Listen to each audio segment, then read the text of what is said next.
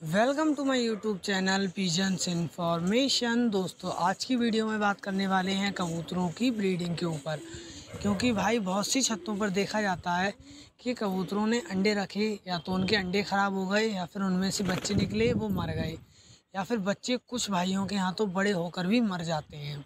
तो फिर भाई मैं बताऊँगा अपने ब्रीडिंग टिप्स की आपको क्या करना चाहिए, क्या नहीं करना चाहिए, क्योंकि भाई इस टाइम आप जो देख रहे हो, दाना खा रहे हैं, या फिर आप कह सकते हो मेरी छत पर लगभग पचास परसेंट मेरे घर के ही बच्चे हैं जो बड़े हो चुके हैं और जिन्होंने अंडे बच्चे करवाए हुए हैं और बच्चे वो निकाल रहे हैं।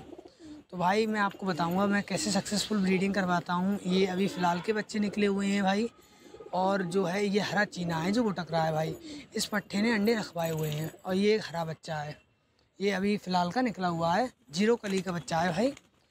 तो आप लोग देख सकते हो कितना करंट है भाई बच्चे में। तो फिर इसलिए मैं आपको आज बताऊँगा भाई कि हम लोगों को क्या ध्यान रखना चाहिए और क्या चीज़ हमें नहीं करनी चाहिए। सब लोग के मुँह से आपने सुना होगा भाई, सब लोग कहते हैं कि मिक्स दाना दो मिक्स दाना दो।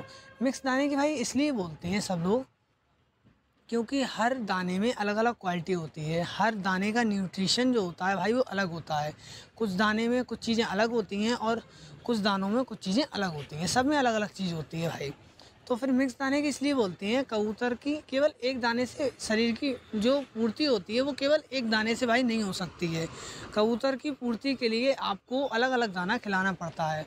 लेकिन भाई, कुछ भाई ऐसे हैं कि वो बहुत ज़्यादा मिक्स दाना करके नहीं खिला सकते, बहुत सारी चीज़ें मिक्स करके नहीं खिला सकते अपने कबूतरों को बजट के हिसाब से चलना पड़ता है। तो उसमें भाई आप क्या कर सकते हैं, अगर आप लोग मिक्स कर कर दाना नहीं खिला सकते हो ज़्यादा तो फिर आप दो तीन दाने तो मिक्स कर ही सकते हो भाई।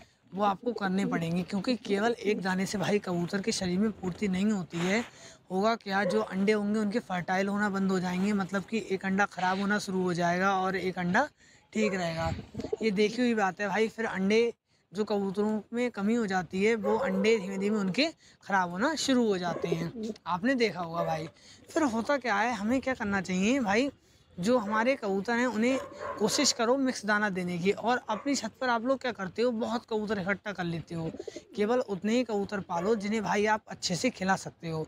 अगर आप भीड़ इकट्ठी करोगे अपनी छत पर कबूतरों की तो ना उन्हें अच्छे से खिला ही पाओगे और ना उन्हें अच्छे से उनकी देखभाल कर पाओगे। तो फिर मेरी बात मानो तो उतने कबूतर पालो भाई, जितने कबूतरों का आप अच्छे से ख्याल रख ख्याल रखो और अच्छे से उनकी संभाल कर सको कबूतरों की। फिर बात आती है भाई कि हर मौसम में क्या ब्रीडिंग करवानी चाहिए? क्योंकि कुछ लोग कहते हैं कि सर्दियों में करवाओ, कुछ लोग कहते हैं गर्मियों में करवाओ, कुछ कहते हैं कि बरसात में नहीं करवानी चाहिए।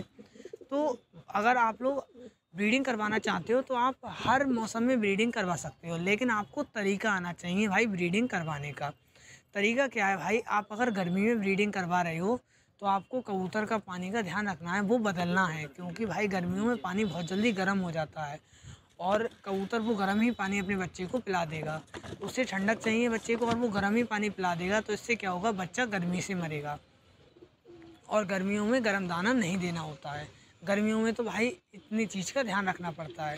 फिर बात आती है सर्दियों में। भाई सर्दियों में आप चाहे प्लास्टिक के बर्तन में पानी पिलाते हो, चाहे लोहे के बर्तन में पानी पिलाते हो, आपने देखा होगा पानी हमेशा ठंडा हो जाता है सर्दियों में थोड़ी देर में ही। तो उस टाइम हमें पानी बदलना होता है, क्योंकि सर्दियों में पानी बहुत ज़्यादा ठंडा होता है और बहुत जल्दी ठंडा हो जाता है। तो उस टाइम हमें नॉर्मल पानी देना होता है अपने कबूतर को और ठंडी चीज़ें ना खिलाकर गर्म दाने मतलब कि जो दाना गर्म होता है, वो हमें खिलाना पड़ता है अपने कबूतर को। ठीक है भाई, अब आती है बरसात की बात कि बरसात में ब्रीडिंग कैसे करवाएँगे? तो फिर भाई, बरसात में हमें ध्यान रखना पड़ता है कि जो हमारे कबूतर का लॉफ्ट है, वो गंदा नहीं हो, क्योंकि अगर वो गंदा हो जाएगा और उसमें पानी जाएगा तो भाई वो बीट जो होगी वो फूल जाएगी और फिर उसमें से बहुत ज़्यादा बीमारियाँ बनेंगी क्योंकि उसमें बैक्टीरिया भाई बहुत ज़्यादा बन जाएँगी क्योंकि वो पुरानी बीट होती है। इसलिए बरसात में हमें साफ़ रखना चाहिए, अपना लॉफ्ट और कोशिश ये करनी चाहिए कि लॉफ्ट के अंदर पानी ना जाए।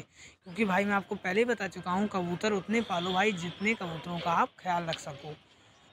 और भाई, हमेशा अपने कबूतर का जो पानी का बर्तन है, उसे हर सीज़न में धुल कर रखना चाहिए। मतलब कि चाहे कोई सा भी सीज़न हो, सर्दी हो, गर्मी हो, बरसात हो, क्योंकि भाई कबूतर उसमें जब आप लगातार उसी में पानी पिलाते रहोगे, जिसमें पिलाते हुए आ रहे हो, उसे धुलोगे नहीं, उसमें बैक्टीरिया बन जाएँगे और कबूतरों में नई नई तरह की बीमारियाँ बनेंगी। इसलिए कबूतर के जो पानी का बर्तन होता है, वो हर हफ़्ते के अंदर कम से कम धुलना चाहिए। रोज़ धुलने की भाई नहीं कह रहा हूँ मैं, आप केवल एक हफ़्ते में धुल दोगे।